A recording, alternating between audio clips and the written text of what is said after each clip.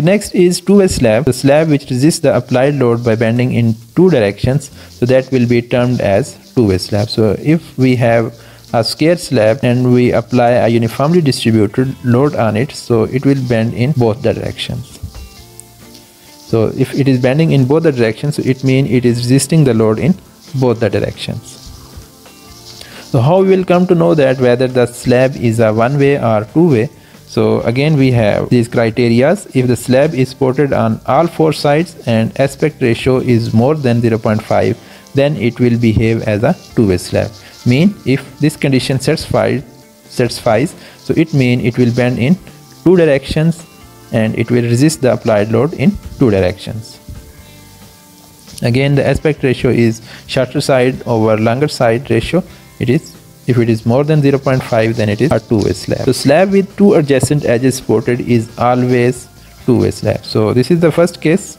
If it is supported on all four sides and the aspect ratio is more than 0.5 then it will be a two-way slab. Or otherwise if a slab is supported on only two sides, two adjacent sides. So in that case it will always be considered as a two-way slab. So it will bend in this direction as well as in this direction oh sorry its bending will be just like a cantilever for this side and cantilever for this side.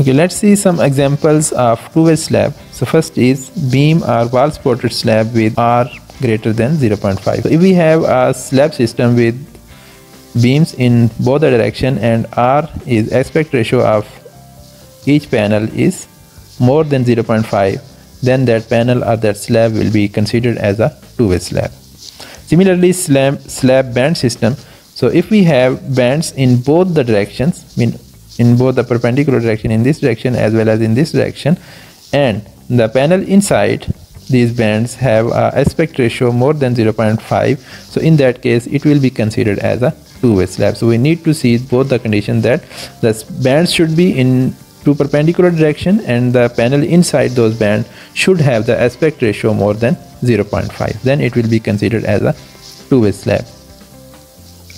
The next is ribbed supported slab or joist slab with end beam so sometimes we have end beams are the beams running along the line of the columns as a primary beam and as a secondary beam we have the joist and if the joists are provided in two perpendicular directions so then we can have the scenario that the span or the panel in between these joists can have the aspect ratio more than 0.5 and then it will be considered as a two-way slab. So slab bounded by these joists if it is it has r greater than 0.5 then it will be considered as a two-way slab. So sometimes we cannot have the primary beam we have only joist and we have only the beams at the ends in between we have columns and joist in two perpendicular directions. And then the span in between these joists if the r for this panel is more than 0.5 then it will be considered as a two-way slab or two-way panel. Okay, next is waffle slab or grid slab. So it is actually a column supported slab without the primary or secondary beams and we have closely spaced smaller ribs in two perpendicular directions. So such type of slab is termed as waffle slab. So we have ribs in two perpendicular direction and we don't have edge beam or the beams running along the line of columns. So in that case it will be termed as a waffle slab. Or we can say that we have a flat plate with a larger depth and we have cut some portion of the slab on the bottom side or on the tension side of the slab to create the cavities. So in that case the solid portion will be actually behaving like the ribs. So such type of slab is termed as waffle slabs.